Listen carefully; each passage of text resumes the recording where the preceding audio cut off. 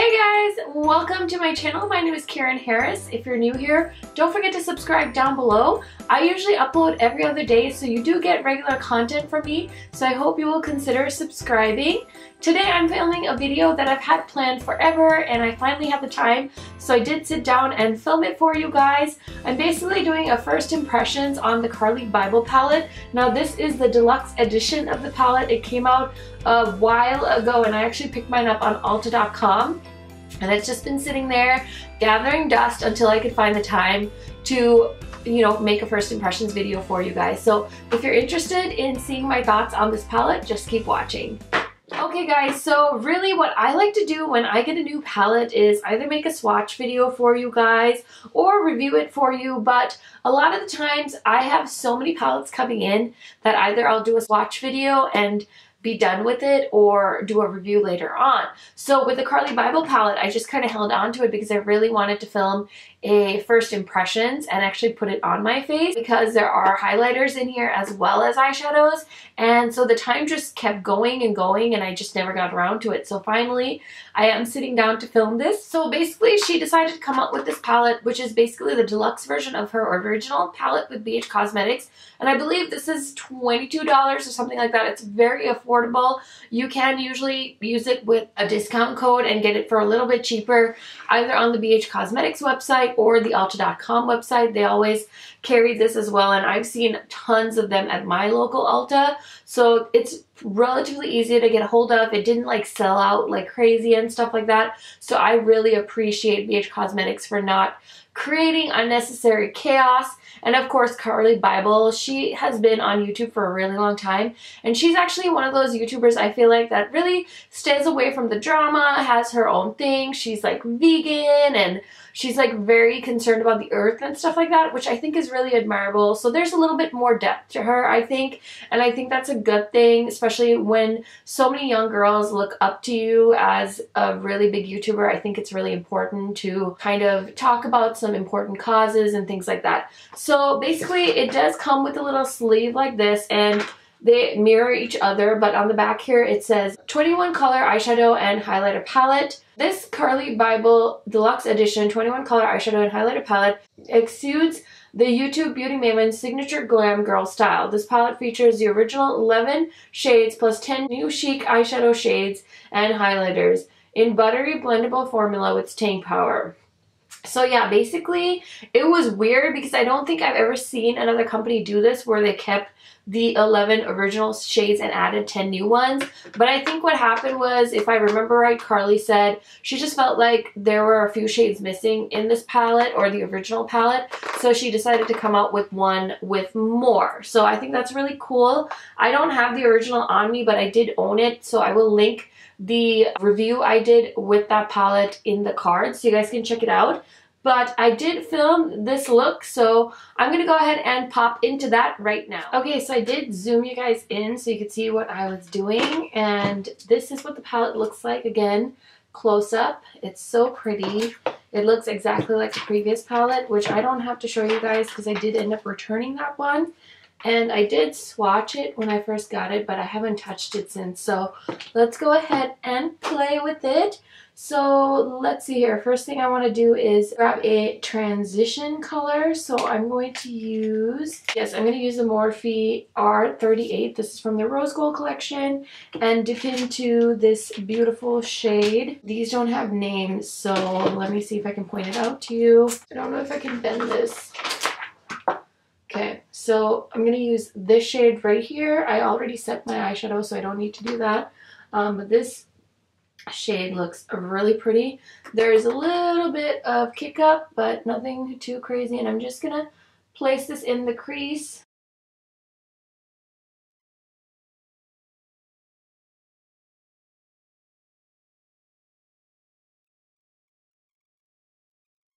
And then I'm already seeing the color I want to use next. It's the one right below it. And these are like literally my favorite eyeshadows to put in the crease are these pinky purpley colors. Oh my god, I don't know what it is. They just look so good with my complexion. So I'm going to dip in with that same brush and go right on top of that crease color I just put down.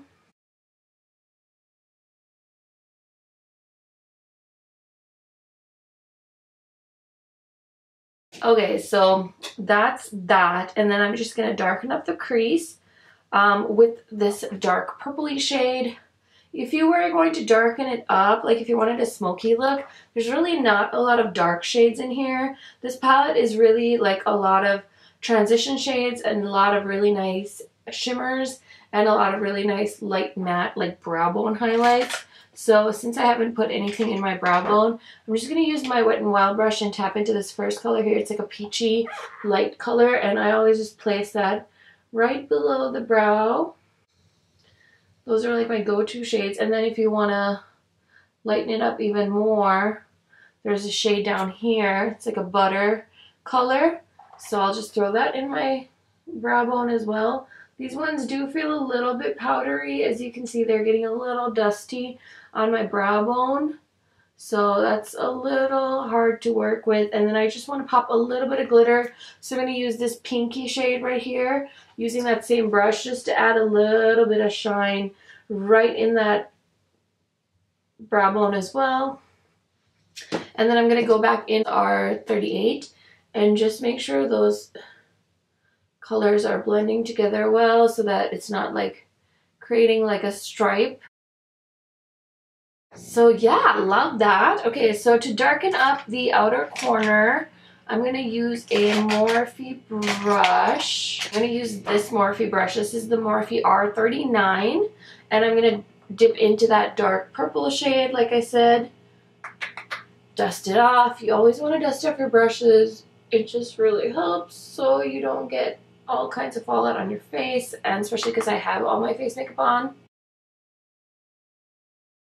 It's not really standing out as much as I want it to.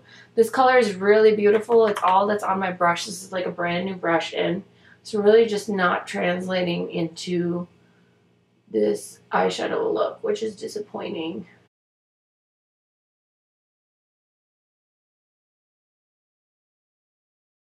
Okay, so that's how far I am right now.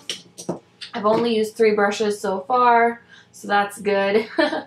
and then all I really need to do, actually I need to dust off some of this excess shadow that's fallen underneath my eyes.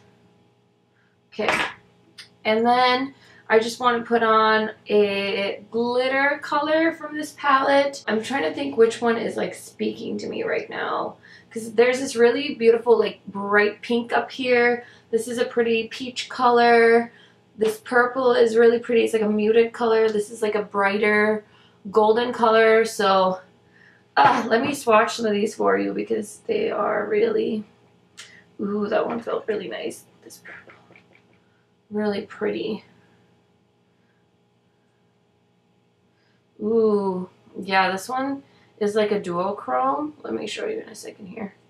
This one, this pink one is like a duochrome, so it's like gold pink shift. Like, wow. Or like it's pink with a gold shift. Isn't that gorgeous? I think I'm going to go with that color. So let's put that on. So I grabbed the Morphe M224 brush. You guys know I love that for just packing on shades to the lid. So First I'm going to go with that Fix Plus to see if it'll foil without any help. Because it actually felt like a nice shadow when I touched it. Mm, it's not foiling that great. I'm going to wet the brush, see if that works. Just use the Skindinavia um, setting spray and spray the brush. There is a lot of fallout on my face for some reason. And I'm trying to figure out where it came from because it wasn't there a second ago. I forget how tiny my eyes are because I use a magnified mirror when I do my makeup every day and obviously it magnifies my eyes so they look so much bigger. But uh, this is pretty much all I'm going to do for um, eyeshadow purposes. Okay, so I did grab my magnifying mirror and I do see that that shadow gave me a ton of fallout right here under the eyes. It looks like I have under eye highlighter on because there's a lot of gold flecks in this. Luckily, I have a foundation sponge on hand, so I brushed it off and now I'm just going to pat some more foundation on quickly. it's a very powdery kind of formula, but honestly, this palette is like, what, 20 bucks? It's totally worth it. Okay, so that's everything I'm going to do as far as eyeshadow. So now I'm going to put some eyeliner on and do the bottom lash line. Okay, so I don't really do the most when it comes to my lower lash line. But yeah, I have two different types of mascara that I picked up recently. I feel like I've been in like a mascara funk. So I was at the drugstore yesterday and I usually always get like the Maybelline mascaras and L'Oreal mascaras. Then I saw this one by Rimmel. This is the Volume Colorist Mascara and it darkens bare lashes in two weeks, tints them. Oh, it looks like it's like a color mascara. I don't know. I guess it tints your lashes, but I have dark lashes anyway, so I don't really need help in that department, but this is Extreme Black. That's kind of cool. I didn't even know they made stuff like that, so I'm glad I, you know, took a venture from a path less traveled for me and decided to try something new because I always stick to the same mascara brands. And you guys know I'm a drugstore mascara fiend. And then this voluminous one, I believe, is like Makeup by Mario's favorite mascara to use from the drugstore. So I decided to try it out. I have used this before. Um, this says it's um, Dramatic Volume Building Mascara. It says carbon, this is the shade Carbon Black, two times the intensity of lashes. And it says that it'll build lashes to five times their natural thickness. We'll see if we can see any dramatic differences.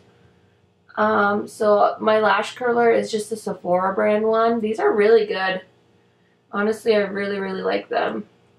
So if you haven't checked them out yet, please do. So let's do ugh, the L'Oreal one first.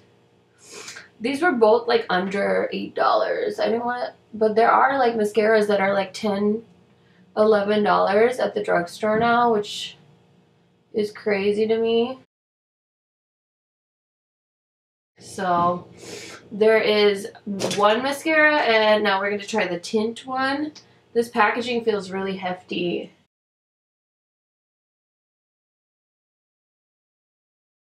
Okay, so overall, just like first impressions, I like the Rimmel one better because my lashes look like more natural. I was having a hard time with the L'Oreal brush, so now I'm just going to switch sides and use the L'Oreal one on here just to make them thicker.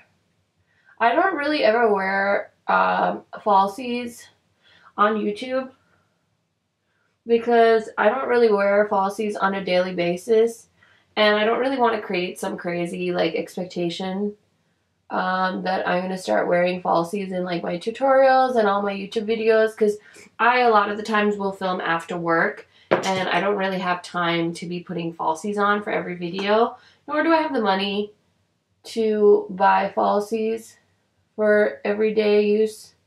So I do depend on mascara a lot to make my lashes work for me. Um, so yeah, this L'Oreal one I'm not a fan of, but the Rimmel one is good. But now using the Rimmel one on top of the L'Oreal one is not working well. Ow, I just stabbed myself in the eye.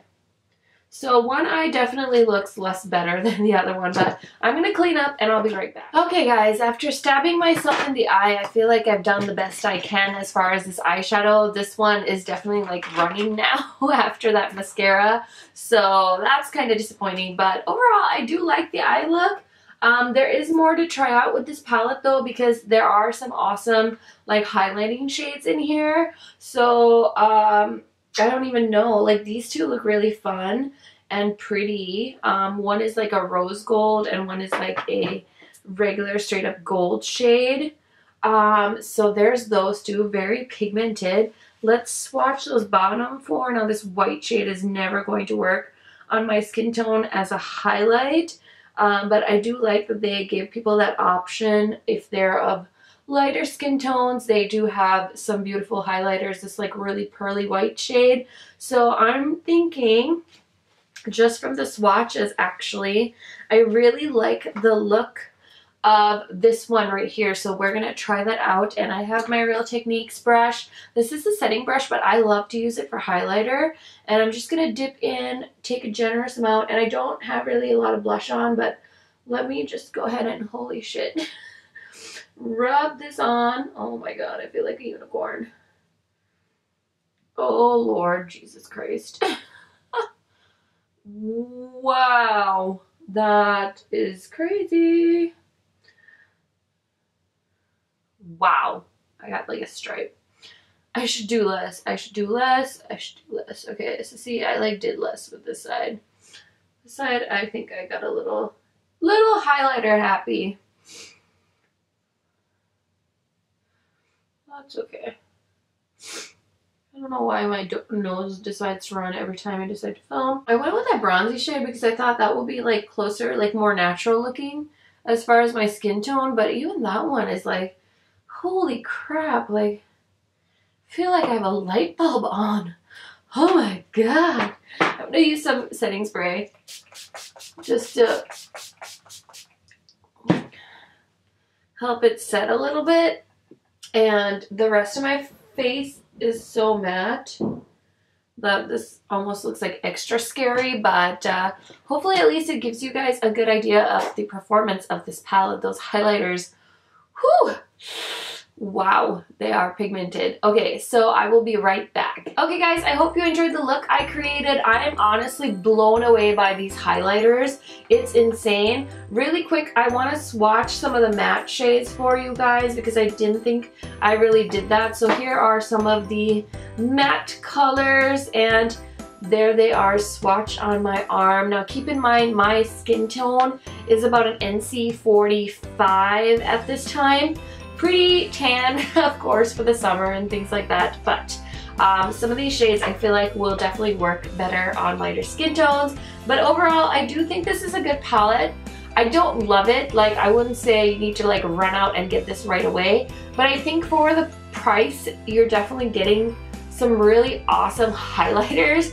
I, I'm not in love with all the shimmer shades. I did like the shadows, like the matte shadows I put on, I think they look really beautiful. But honestly, these highlighters are so bam. Like, I just, I can't get over this highlighter. It's insane. And I think you could even use these as eyeshadows as well. And I should have tried that when I did this look.